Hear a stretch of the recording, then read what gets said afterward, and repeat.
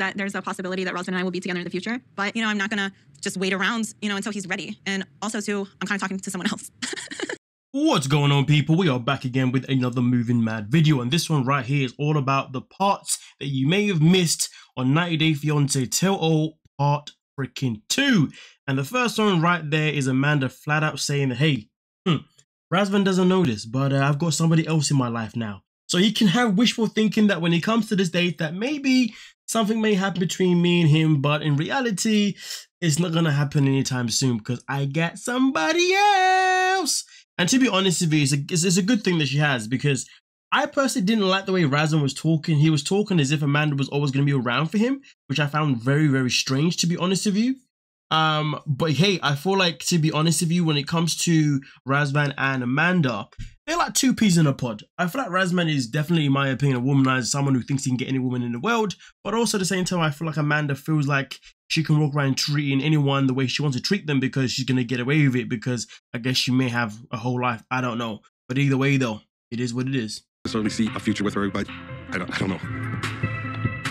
Well, I am so, so glad that Riley did not end up proposing to Violet at the tell-all. Because we know he's talked about how he had actually bought a ring and he was thinking about it. But of course, his common sense told him not to do it. And As you saw right there, that is him giving us confirmation that he has no intentions of actually making things work with Violet in the future. And I really, really hope he sticks to that. Because if anything, Riley definitely deserves someone who's going to give him a bit more, not even a bit more, but a whole lot more communication. Because communication was definitely their biggest problem. And one of the reasons why the creative was such a big problem is because Violet was just somebody who would either lie or just didn't want to answer questions for whatever reason that she saw fitting. But either way, though, it was very, very clear that Violet is someone who would not be good for Riley in the long term, at least for his mental health anyway, purely because he's a man that really needs to overstand. And, well, Violet just isn't the woman who's ever going to care about him overstanding. She's the kind of person who's only ever going to care about her own feelings. So, um, kudos to him, and I really hope that he finds someone that is far better for him, and Violet can hopefully, you know, work on her communication skills. But hey, my daughters to give him an honest chance. I just hope that people can get to know him. I just know how my world views this relationship, and I just really hope that they can see the person that I know he is. For someone who is so spiritual and is all about her faith, I do wonder why she gives a damn about people caring or wanting to accept Nicola. I mean, listen, when it comes to her daughters, 100% I understand that, I respect that. But generally speaking, I thought the only thing that you cared about was the fact that you finally found the man that was right for you. And also, most importantly, that you guys got the annulment, which means you're now in a position where you can get married. And also, you can also have your hanky panky too. So I do find it rather strange that she's still in a position where she cares about exterior people's, you know, people that don't matter's opinions. Because the reality is this you change yourself, you brought yourself to the faith because you wanted a new beginning in life, from what I understand. And therefore, you only want to be judged only by one person, one person only, and that is the Lord Himself, God. So, why she's talking like this, for me personally, I don't understand. It just feels a little bit, mm, a bit fishy, a bit cagey. All I know is this if Meisha is really serious about her faith and really serious about her relationship with uh, Nicola, then hopefully she can not worry about anyone's judgment and just do what's best for herself. But most importantly, always consider her daughter's feelings as well. But right now, her daughters don't actually have a massive problem with Nicola anyway. They are just a bit concerned that he may become in the household and he may become a bit too controlling to what they can and cannot do. And as long as that is planned out in a healthy way, everything should be a-okay. But hey, it is what it is. Gonna go home, sell everything I own, and get going to England. good night, room. Good night, me. See you better. And if it doesn't, I don't think we're gonna be able to live in a van. I don't think we're gonna be able to live together. I don't think we're gonna be able to be in a relationship. Statler, Statler, Statler, Statler. I mean, to be honest with you, it is quite crazy that they've already agreed to go live in the uh, van life, okay? And, you know, move around Europe and whatnot. But the fact that Dempsey's already selling her stuff and Statler's only doing it now, that's a red flag and that is a concern. That is a concern to say that Statler isn't fully convinced about it just yet. Now, of course, she talks about how she's going to do it now, and hopefully she does do it. But to be honest, at the same time, though, I just don't feel like this relationship can really go any further. I just feel like they're two different women. We have two different goals in life.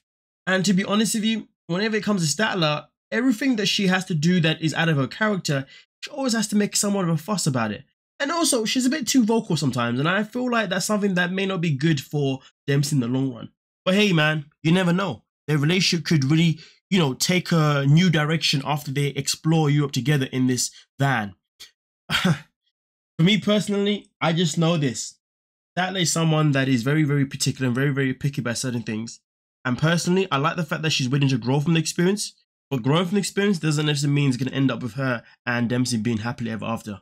But hey, maybe we'll get maybe we'll get an update about it at some point. And if we do, best know I'll be here to, get, to let you guys know. But as far as I'm concerned, I just don't feel like that they are the perfect match. I feel like Dempsey can do better, and I feel like uh, Statler needs to do a little bit more of self care to really find herself and not to rely on other people so much. Because really and truly, her feelings aren't necessarily driven on who Dempsey is. Her feelings are more driven to the fact that she just wants to be with someone to love her, which isn't a bad thing. But sometimes you got to ask yourself, how long is that going to last in a relationship with somebody?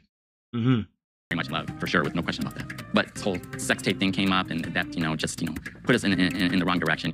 I'm gonna try to find a way, you know, to to live whatever happened in the tell, like in the past, you know, and maybe tonight can I say in sign language?